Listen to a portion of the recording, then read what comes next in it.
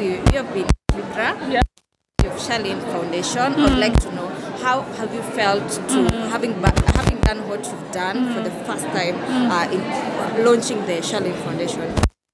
Uh, thanks, Eve. So today we did a soft launch of the Charlene Ruto Foundation, and one of our donors had 1,400 packets of food. Nali Tuliza, where do you want to take the food to? So we chose Kibra, and we went to one of the schools there and we visited the community. So I felt so good to see all those women and all those families to come and receive the food. And this is not the end. This is just the beginning. Tunataka tuingie ndani ndani to all the slums, to all the areas, to all the counties, so that we can see how we can help our community. mm. Okay, maybe uh, we have already uploaded the video, and some mm. of the questions that are coming up is why did you choose Kibra as the first uh, place to go?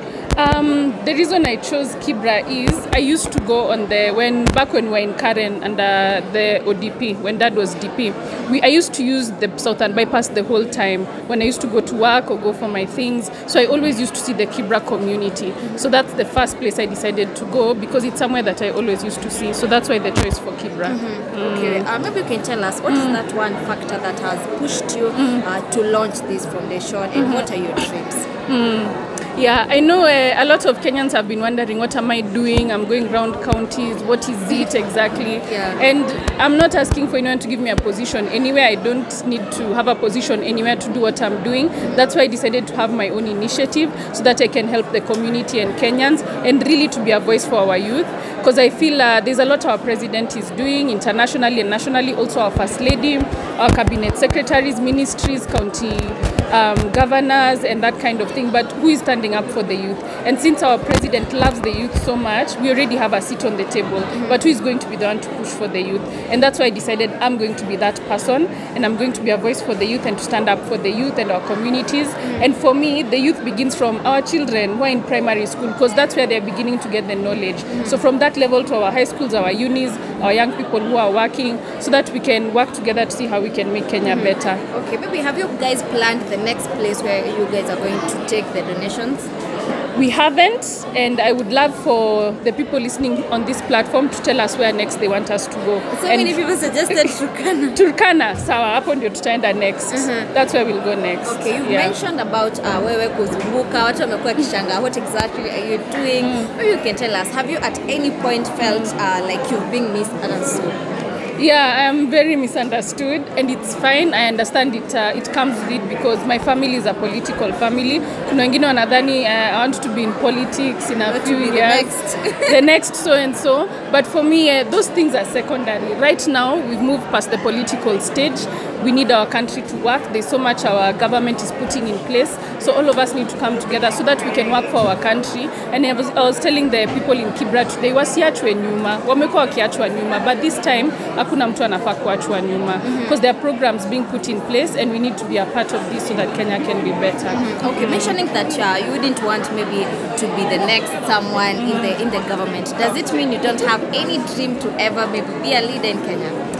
Um, I believe there's a difference between leadership and politics, and I also don't need a title to lead. I can lead without a title. That's why I've taken this position. Mm, I've been, I've seen politics firsthand for the past about. I think my father has been politics for like 27 years.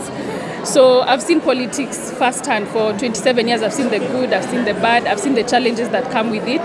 So that is something that I understand. But for me, I've decided to take this direction of doing leadership through my foundation. Yeah. Okay, maybe uh, in your foundation, uh, do you have people that you're working with, people who are helping? There are also people who have been asking how they can join.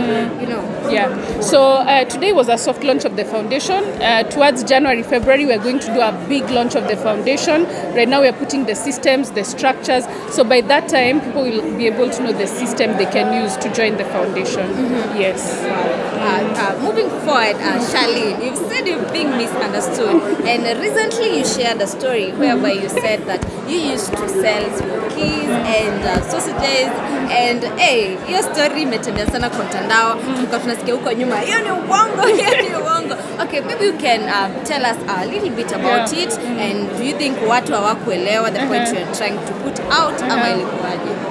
So uh, that happened when I was in a forum for youth where we were talking about savings and investment, and these youth are in campus. So I just wanted to give them a story for how even when I was in campus, uh, I was doing my own biashara. Uh, the thing is, I'm the daughter of the chief hustler. Mi ni mtoto wa hustler. So I've seen him hustle and I've also hustled in my own ways.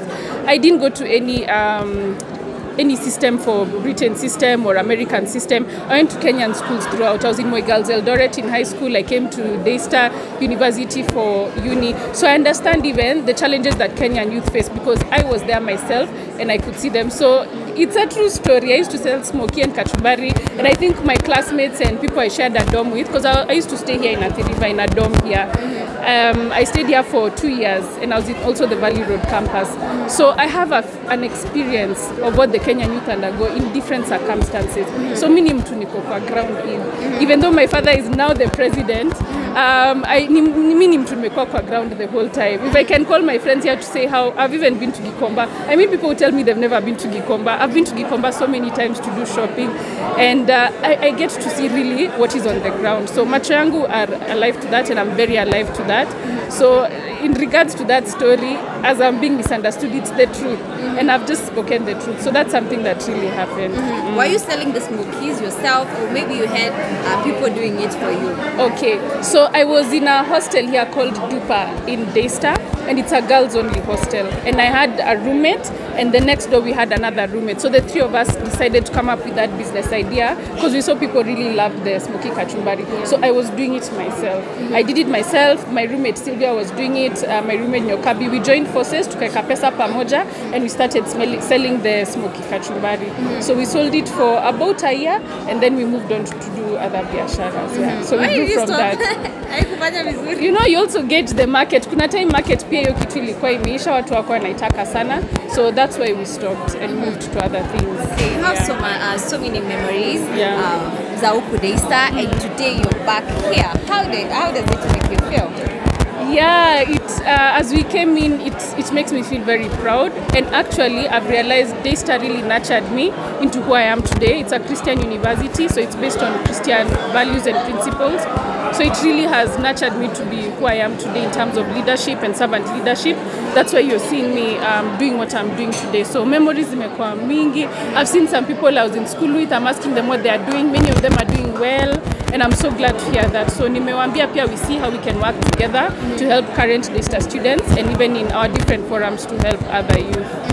Yeah. Okay, now that uh, you know you're on the spotlight, everybody is uh, googling Charlene. Everybody wants to know uh, who is this girl, what is she doing.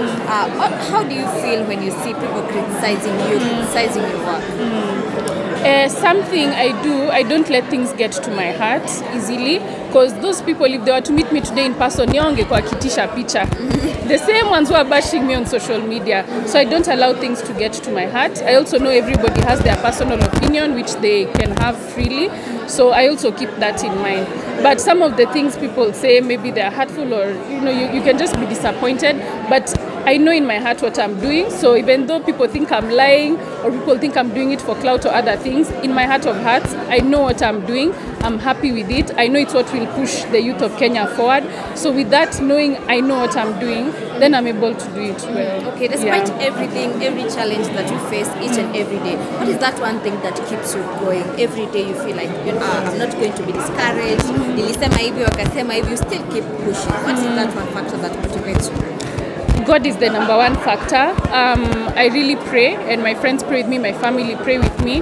God is the number one factor, and I always go back to the Bible to read through other leaders who underwent the challenges I'm undergoing because it really encourages me. My family are also my bedrock. They really support me in what I'm doing, and also some of my friends. Those are my three key encouragers. Okay, Kido. Uh, maybe just to add, maybe to ask, I don't know if you can make it clear, maybe you can Yeah, to understand, yeah. because most of them are saying you're, you're using uh, government resources.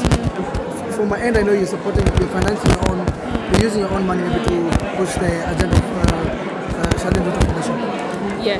Um, Charlene Ruto Foundation has different donors and sponsors who have come on board. Some are individuals. Actually, a lot of individuals have come to me. A lot of people who are in business, they've come to me and they've supported the foundation. Even I have put my own resources in and my own team. So we're not using government resources um, to do the activities we are doing, and we don't need to. And I encourage any Kenyan youth who has a brilliant idea to just look for their own ways to fund them and to get the right the right uh, way to do the things that they are doing. We don't need um, the government to come into our things for them to work. The work of government is to create an enabling environment for us to be able to help Kenyans, and that's what they are doing. So us, we do our parts. Yeah. Ashalin, uh, you've been going around the country supporting people, uh, climate change, uh, supporting the youth. Uh, what has your dad, His Excellency the President, said about it? How does he feel about it, and what has he told you? Has he encouraged you? What has he said? Uh, thanks. Um, we had a good sit down with my dad where I shared with him my vision and what I'm doing, and he really supports me. He is encouraging me, and I always keep him updated about the things that I'm doing. Both my parents, my mom and my dad, they are really keen supporters of this. I mean, when your parents support you, it gives you even more motivation to do what you're doing. So they really support what I'm doing, and I've told them everything I'm doing, and I keep updating them with yote tunafanya.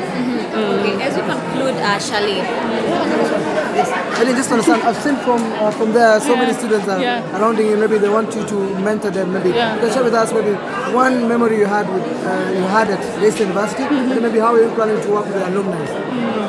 Yeah, um, I think even in this hall where we are standing, we had many great events that used to happen in Daystar. We used to have people coming to speak to us, mentors. So one of the ways we'll work with the Alumni Association is we come back to talk to the students who are there currently so that we encourage them as they're going to go out there. Things may not be the way they think, but if us we've made it, then even them they're going to make it. So we're looking to how we can do a form of mentorship.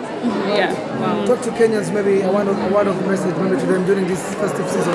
Yeah, Merry Christmas, guys. Um, I think as we donated food in Kibra today, something I thought is if each one of us as Kenyans can give something to someone who doesn't have, it doesn't have to be a, a big donation, but someone we don't have, even giving them something worth 300 shillings, mnunulie unga or rice.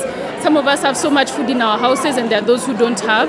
So if we can give that as well to someone who doesn't have, just somebody even you've noticed, maybe ni ule makanga na kubeba kila asubuhi, umpe kitu kidogo, it will be good. what about a word to the young people who are looking up to you out there? Yeah. Eh, thanks to the youth, they've really supported me, and I know you're my soldiers out there uh, on social media, Mnani Defend. So we are through the Charlene Ruto Foundation, we are really creating a lot of opportunities for youth. There are many scholarships that are coming, so we are going to share this with you so that even you guys you can grow. Thank you so much, Charlene. We really appreciate Asanteni. Na nyingi, there are fake ones walikuwa na con watu. Mi siwezi ambia watu at if you retweet I'll buy you breakfast. That's not fair. So um, my Twitter is at Shal Ruto. That's C H A R L R U T O. My Facebook is Shalin Ruto and um, my Instagram is also Charlene Ruto. Na nimevaa t-shirt ya Hustler kwa ile Instagram. Mm -hmm. Yeah. Haya. Thank you Eve. Uh, thanks Kido. Um, oh, TikTok. My TikTok is Charl Ruto. C H A R L R U T O. Okay.